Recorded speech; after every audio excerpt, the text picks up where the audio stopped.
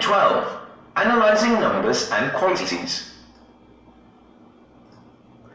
Unit 12, Analyzing Numbers and Qualities. All right, guys, so this is another math and numbers unit or class here in your course English for Software Engineering. Esta es la clase 12, analizando números y qualities. Tenemos otra clase de números y matemáticas en este curso de inglés para desarrollador de software, software developer. Quantities expressed in engineering. Quantities expressed in engineering. Vamos a empezar con una lectura. Así que sígueme. Sigue con los ojos la lectura porque de ahí vamos a sacar el vocabulario para la clase de hoy. So let's get started. Reading.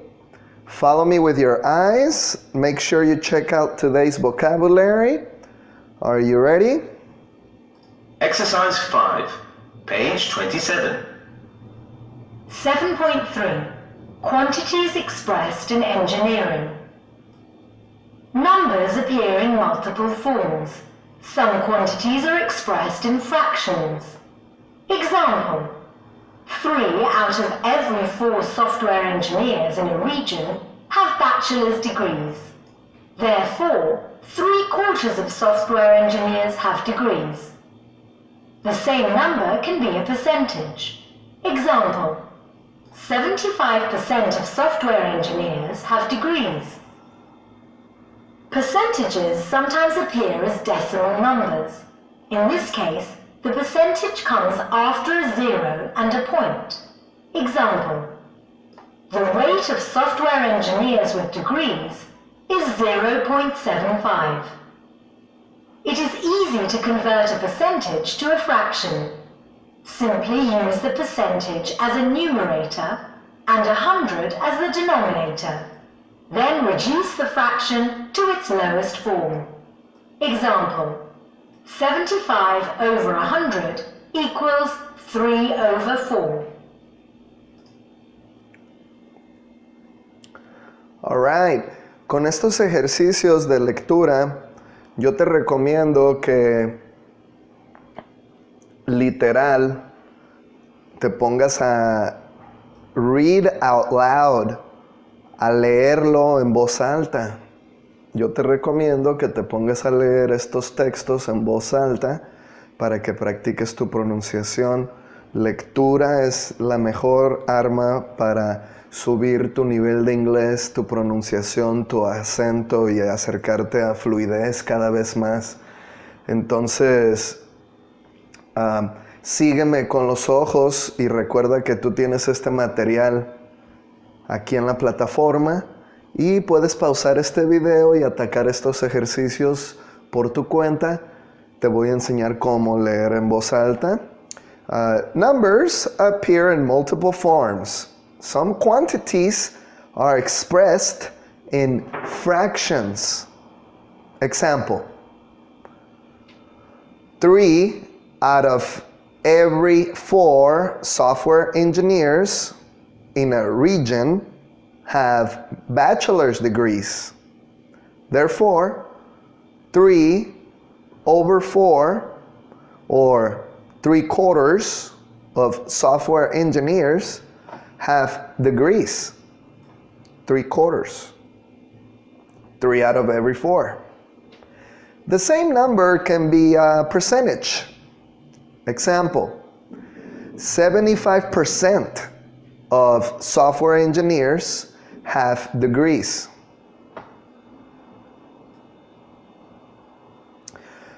Percentages sometimes appear as, uh, as decimal numbers.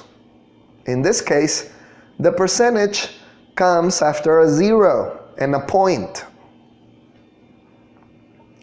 Example, the rate of software engineers with degrees is 0.75.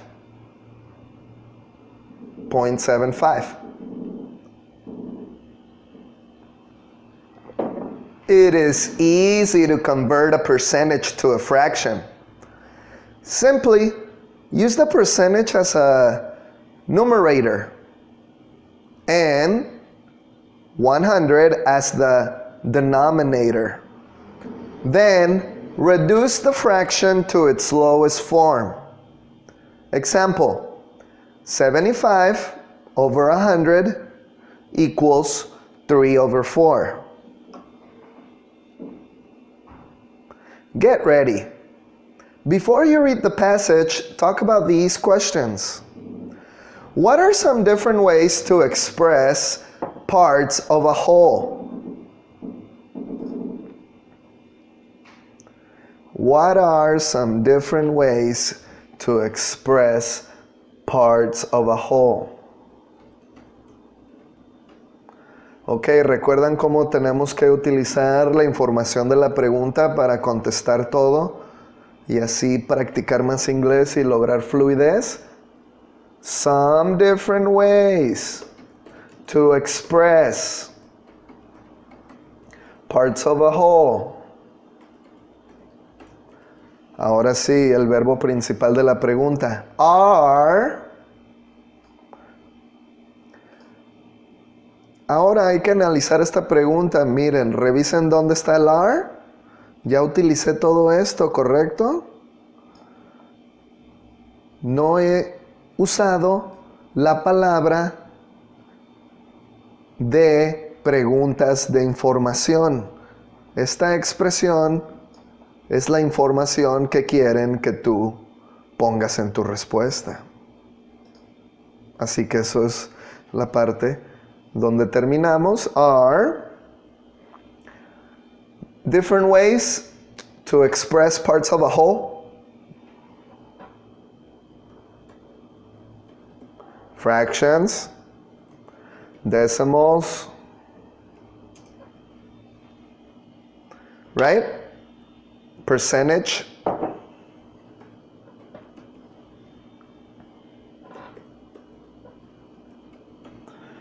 Entonces tienes que poner mucha atención en la lectura y así serás capaz de responder estas preguntas. Number one, what are some different ways to express parts of a whole? Hey, student, what are some different ways to express parts of a whole, que son diferentes maneras para comunicar o expresar las partes de un entero. Algunas maneras diferentes para expresar las partes de un entero son fractions, decimals, percentages. Number two, how can someone convert a percentage into a fraction? Easy. It's right here, look. Simply use the percentage as a num numerator and denominator 100. So, for example, 75 over 100 equals 3 quarters. Uh, this was uh, 75% originally.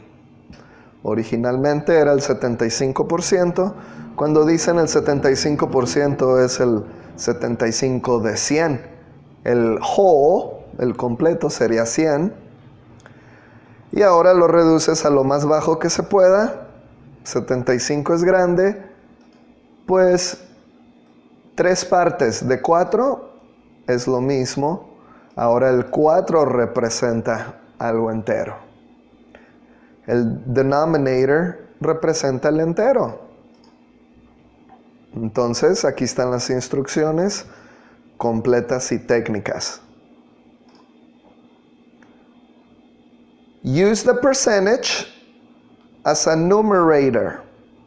Ok. Este es mi percentage. Te le puse el símbolo de porcentaje. Y ahora tienes que acordarte de la clase de matemáticas de la primaria, el denominator y el numerator. ¿Cuál, es, cuál va arriba? ¿Cuál va abajo? Denominator es el de abajo, correct? Ahí lo puse, dice 100 as the denominator. And then reduce the fraction to its lowest form. 3 quarters. So, to convert a percentage into a fraction, use the percentage as the numerator and 100 as the denominator and reduce it.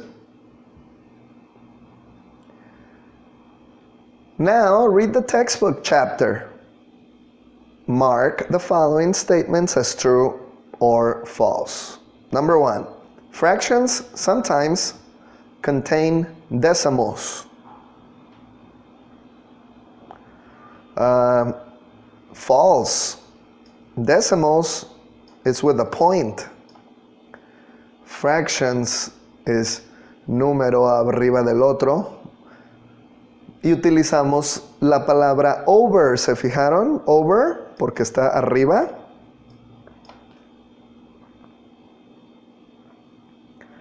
Number two, percentages can be expressed as whole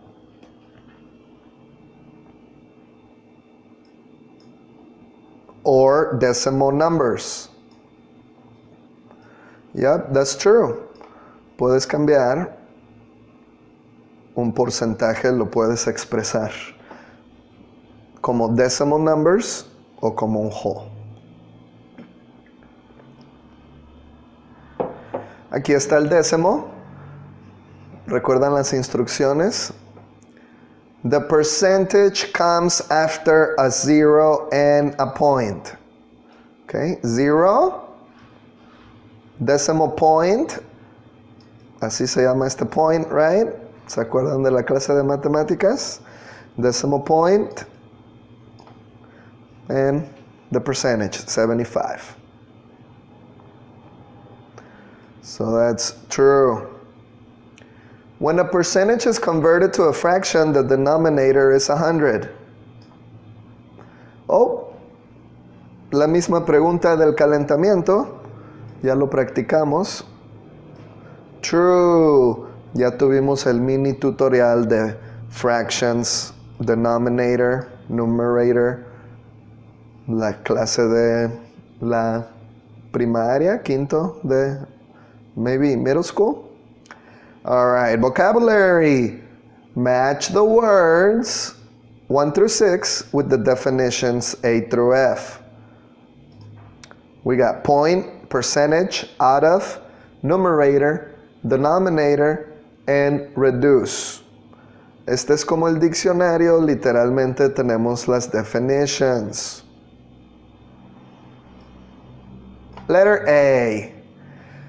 The number above the line on a fraction.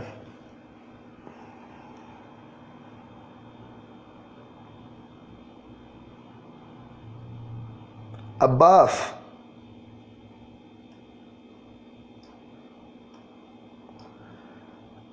The number above. ¿Conoces la preposición above above the line. Numerator. Levanten la mano si batallaban con estos este vocabulario en la clase de matemáticas en la primaria The numerator es el de arriba, the number above the line. Y el de abajo, below. Below, otra preposición.